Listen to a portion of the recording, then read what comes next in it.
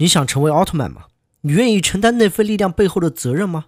大家好，我是阿泽。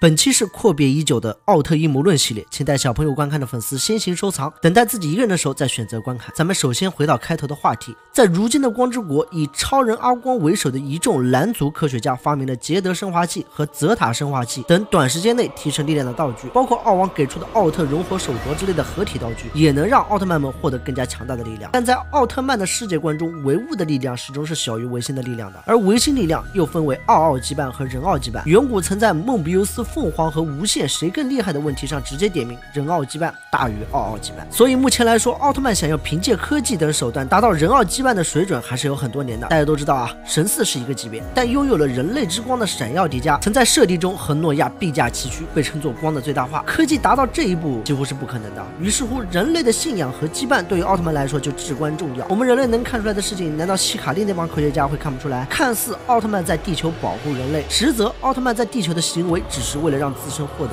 更加强大的力量，也就是所谓的信仰。在几十年前的昭和时期，那时候的光之国还没有这么多提升力量的道具，奥特曼们想要在短时间内提升力量，就只有通过维新力量的加持。而想要与地球人建立起那么一个维新关系，自己又不能以超人的姿态长时间在地球活动，这时就需要一个中间人的介入，人间体的价值便在这儿体现了出来。举个例子啊。在漫威世界观下，有一个叫毒液的外星生物，被它寄生的宿主往往都能获得超人般的能力。可同时，它会放大宿主体内的负面情绪，从而在精神层面上达到控制宿主的目的。当宿主反应过来时，往往为时已晚，最终沦为了毒液的奴隶。奥特曼与人间体的关系亦是如此，给予人类超人力量的同时，又能以人类的身份加上各种各样的维新 buff。如果单纯只是一心同体的话，好像对人体也没什么大不了的。可怕就可怕在奥特曼和毒液一样，会潜移默化改变人间体的心智，使得人间体几乎丧失了所有人类的情感，最终沦为奥特曼获得维新力量的工具。最典型的例子啊，就是早田。在科特队中，早田几乎很少会主动开怀大笑，而造成这一特点的主要原因，则是。奥特曼强行占据了早田的精神和肉体，为什么这么说呢？大家看看下面这个片段就知道了。队长，你看那儿，红色的球体。刚才我在龙森公园，然后发生了什么事呢？换言之，早田的意识已经死在了龙森湖的那个晚上。如果不是在佐菲带来的两条生命，早田可能一辈子都不能支配自己的身体。而在初代接管早田身体的这段时间内，也没少干一些见不得光的勾当，以此获取人类的维新力量。在第二十三集中，科特队被迫要与人类曾经的英雄贾米拉战斗，所有人都陷入了深深的挣扎中。一出更是大喊我不干了。可这时的早田不应该说是初代奥特曼已经做出了消灭加米拉的决定。当时科特队已经知道了加米拉的弱点，想要消灭加米拉可谓是易如反掌。可奥特曼还是出现了，并用一发奥特水流杀死了人类曾经的英雄。按理说，奥特曼不应该干涉人类的内务，可他还是选择插手。阿泽觉得，奥特曼之所以出手，无非就是为了增加地球人对奥特曼的维新力量。因为对大多数地球人来说，加米拉只是一只来自于宇宙的怪兽罢了，大家只会认为是奥特曼的出现保护了他们。科特队的纠结，对于全体人类的信仰来说，太微不足道了。而对于奥特曼来说，得到人类的维新力量才是最重要的。为此，消灭一两个无关紧要的人，他真的不在乎。再比如，在第二十二集中，曾经地球的原住民地底人来袭，他们的祖先为了躲避冰河时期而来到地底生存。虽然剧中并未透露地底人为什么要攻击地面，但咱们从同一世界观下的艾迪的故事便可窥之一二。原来地底人是因为不断开采地下资源，导致地底倾斜，地层下陷，这才不得已想要重返地面。可得知真相的奥特曼还是选择帮助了人类。出在这样的做法，说到底还是对维新力量的贪婪。如果地底人真的返回地面，那么人类必然会对奥特曼有所怨言。即使地底人因为此次的救助选择信仰奥特曼，但与从人类那边缺失的信仰来看，还是少了不少的。初代所能汲取的维新力量也会大幅度降低，所以初代不想也不能让这样的事情发生。消灭地底人无疑是性价比最高的做法。说到底，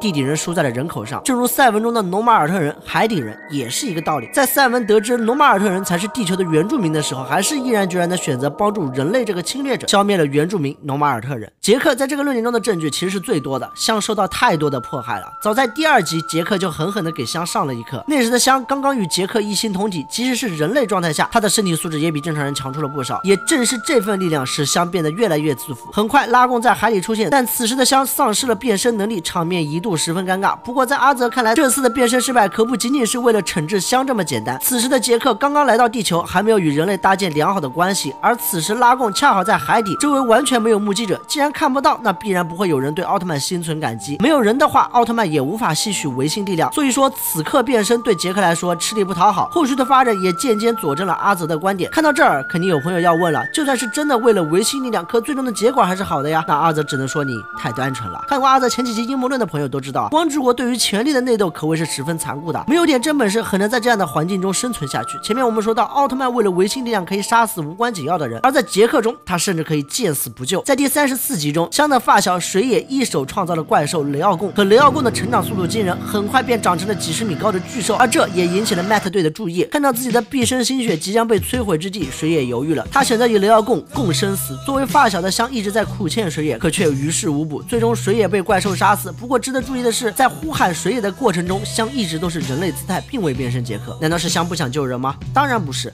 水野作为香的发小，于情于理，香都不希望他死。那么真相只有一个了。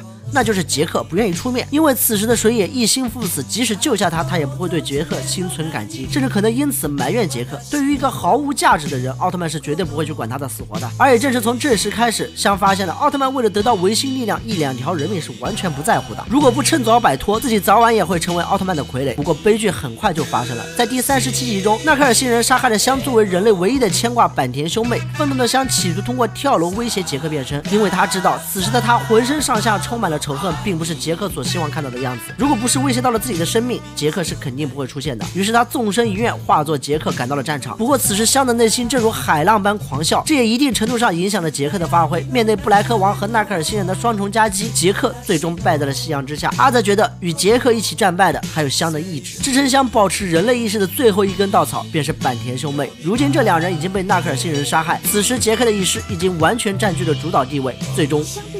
不是在跟杰克的搏斗中死了吗？而杰克带着香的躯体回到了光之国。以上就是阿泽对奥特曼来地球真实目的的主观看法，究竟是恩赐还是劫难？我相信大伙儿心中自有定数。这里是阿泽，我们下期再见。